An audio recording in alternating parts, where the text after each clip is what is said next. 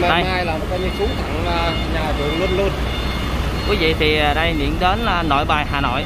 Anh em đã đến nơi. Rồi. Nam chào mọi người nha. Thì hiện tại là Nam với à, anh anh Trung đang có mặt tại sân bay nội bài Hà Nội. Thì hai anh em sau khi bay 2 tiếng đồng hồ bây giờ cái lỗ tai nó bị ù luôn. Lần đầu tiên Nam đi máy bay luôn mọi người. Thì bây giờ là bắt xe để mà đi xuống Hải Dương. Thế này này dạ. Mình à, xuống à, Mỹ Đình. Dạ. sáng mai. Sáng mai là coi như mình đi thẳng xuống xã luôn. Dạ. Đấy đi thẳng thẳng xuống xã luôn. Ok. Đây mọi người. Thì bây giờ đi chiếc xe buýt này. Về à, Về. cầu giấy. Rồi cầu giấy có thôi. anh em sẽ đón à, hai anh em nam. Đây xung quanh. Sân bay à, nội bài. Đó À, rồi, ok. Thôi thì bây giờ lên xe buýt đi à, về cầu giấy trước. Rồi bây giờ hai anh em sẽ lên xe buýt đi về cầu giấy. Rồi sẽ có anh em à, ra đón.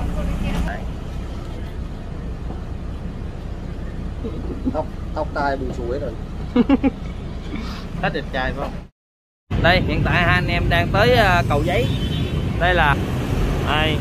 Để à, bây giờ là điện cho một số anh em ra đón để mà đi xuống nghỉ xong rồi sáng ngày mai. Bắt đầu sẽ xuống ngay chân chỗ ờ, xã của ờ, Tinh Lưng này để mà chia sẻ và cũng như đi vào bên nhà của Tinh Lưng chia sẻ. Với lại là à, tìm à, nhà vợ lớn của Lưng để mà chia sẻ cho mọi người nha. Thì bây giờ anh Trung đang gọi cho anh em. Có một số anh em quen ngoài này. Đây là cầu giấy cây cầu quá trời cao luôn à, anh đang đứng đây ngoài à, ngoài Hà Nội này à, đường rộng lớn ghê. Thì bây giờ mời mọi người à, theo chân anh em Nam để mà tiếp tục à, cái cuộc hành trình à, à, như thế nào cho mọi người. Đây đây là cầu giấy Hà Nội. Thì à, bữa đây giờ này là anh em vừa ra tới đi 2 tiếng thì à, từ chỗ sân bay đi lên đây nữa thì bây giờ là 10 giờ. Đó. Rồi lúc mà bay tới đây thì à, lúc đó là 8 giờ à, 8 giờ đúng mọi người. Thì bây giờ đi lên tới đây nữa, nãy giờ là, bây giờ là, hiện tại là 10 giờ. Thì anh em bắt đầu là đợi à, anh em ra, quen ra đón. Thì có một số anh em để hỗ trợ mấy anh em cho, ở ngoài này, để hỗ trợ để mà mấy anh em đi xuống chỗ mà nhà của Tinh Lân này.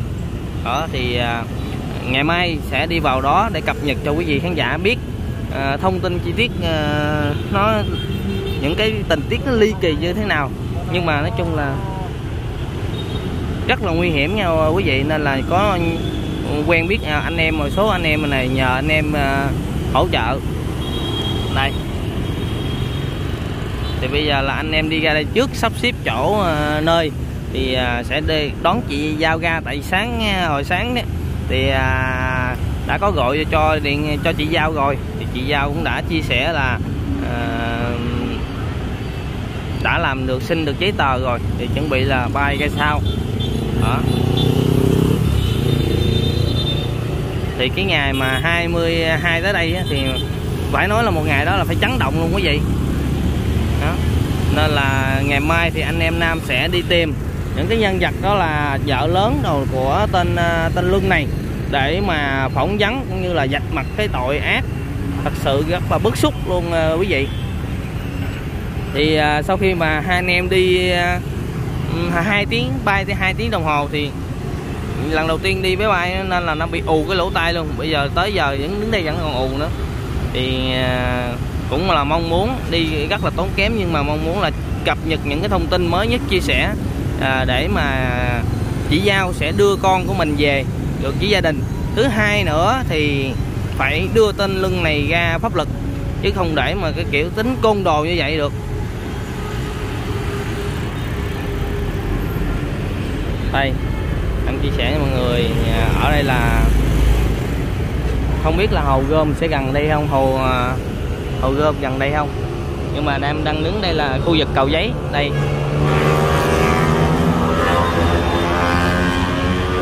Đang đợi anh em ra đón rồi sẽ đi qua đó nghỉ ngơi. Sáng ngày mai thì Nam sẽ đi tìm những cái nhân chứng mà từng bị tên lưng này như là bạo hành gọi là gọi là cái địa ngục trần gian quý vị tên lưng này bạo hành rất là giả man luôn. Thì à, điển hình như là chị giao và còn những cái người vợ mới trước đây nữa mọi mọi người. Em mút ra tới à, nơi đón rồi đây à, quý vị. Thì giờ là bắt đầu về nhà nghỉ nha. À, lên trước em anh đợi nón đi anh ngồi sau anh đợi nón đi. Nè.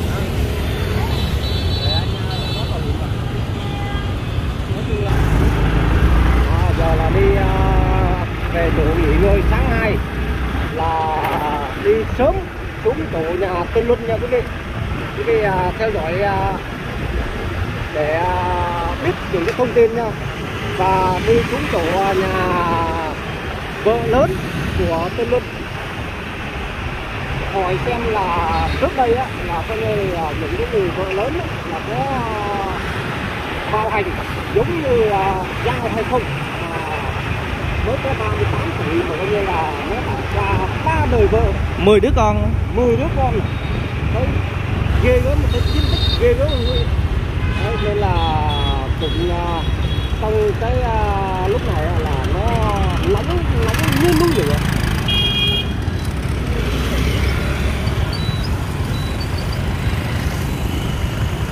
Ờ, ra Hà Nội và, và Dương dạ dạ dạ. Hiểu không? Nên uh, đi xe là Tại như vậy là cái khi à, tới là Kinh Linh là cái người mới à, thoát rồi. Chúng ta thoát là cái à, từ trong Sài Gòn ra Đông thì cho đàn em liền dí liền. không biết cái. Đấy, thì à, chị nghe nói là rất côn đồ. Nói chung cũng có thì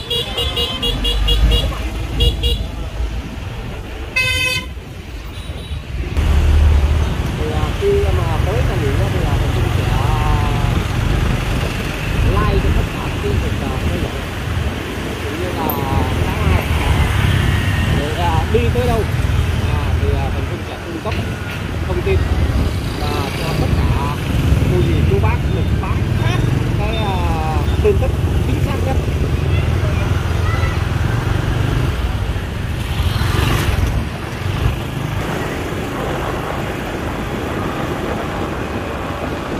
đây đường ngoài Hà Nội này đường rất là là rộng luôn, không giống như Sài Gòn.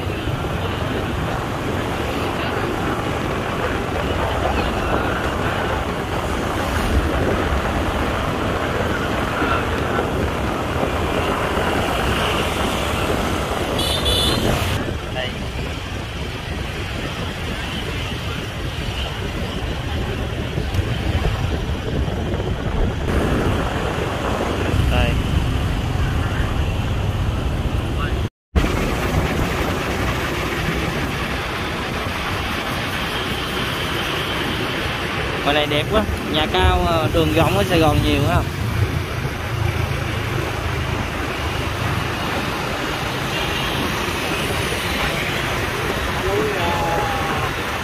Hà Sài Gòn à, từ gì lần đầu tiên ra đây thấy à, nó lạ đường rộng ghê ha Hà Nội nó rộng. nhà cao tầng Tôi là biển số 30 à? Còn 29 31 29 30 31. À.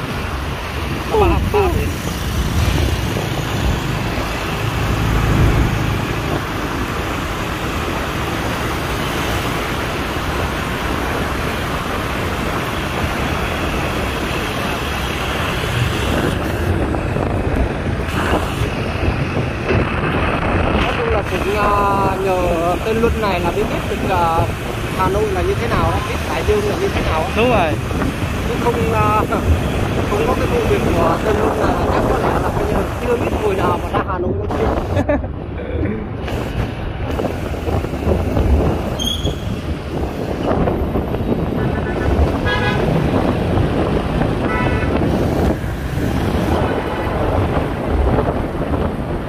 Dạ, ngày hôm nay anh em à, cũng đã có mặt tại à, Hà Nội thì à, chắc có lẽ là ngày, à, ngày mai thì à, Giao cũng đã mua vé máy bay và quay cắt đi hay là cũng uh, sân bay uh, nội bài nhưng mà chắc là xuống uh, sân bay cắt đi thì khi mà giao cùng với anh em ở trong đó mà xuống uh, sân bay cắt đi á, là anh em ở đây sẽ đi xuống uh, sân bay cắt đi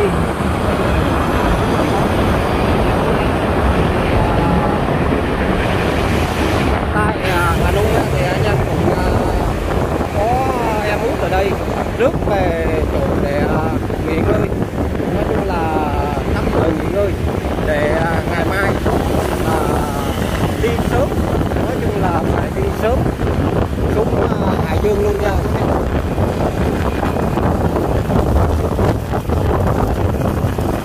ở đây giống như là đi ra quận nhất nha tốn hầm mà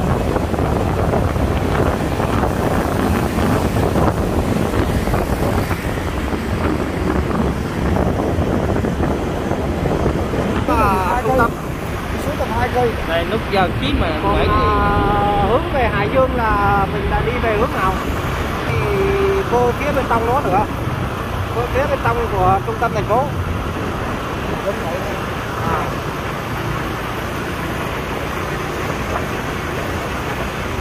hôm mai là phải quặt lại. Chừng nào trong đấy chắc nhà nghỉ khách sạn ở đây chắc uh, mắc tiền rồi.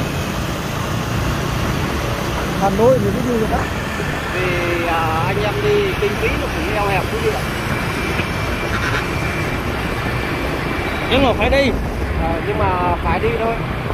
Đó, thì cái uh, sự bức xúc của cộng đồng và mình cũng đã theo cái câu chuyện này uh, từ đầu. Đó, từ cái khi mà mới xảy ra sự việc đến bây giờ thì mình cũng muốn cho tất cả những khán giả được uh, những cái thông tin sát sao nhất. Đấy, nên là dù xa đây, đây là mình phải nói là một quãng đường à, rất xa từ rạch giá mà về uh, hải dương ấy, hai ngàn là cây. à, trên 2.000 km quý vị đấy. rồi thì bây giờ là đã mời mọi người để mà theo chân anh em nam để mà để sáng ngày mai đến nó tìm à, nhà vợ lớn của tên lưng này. Và cũng như là sẽ vào để mà gặp à, vô con- đường nhà của tên lưng này. Tìm những cái người à, thân cận để mà phỏng vấn, chia sẻ những cái câu chuyện thực tế nhất cho quý vị khán giả.